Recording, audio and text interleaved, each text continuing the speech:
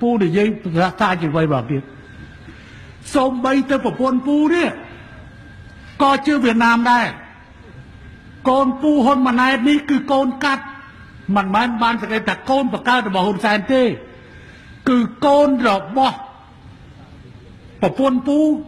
ជាមួយនឹងអតីតប្តីរបស់គាត់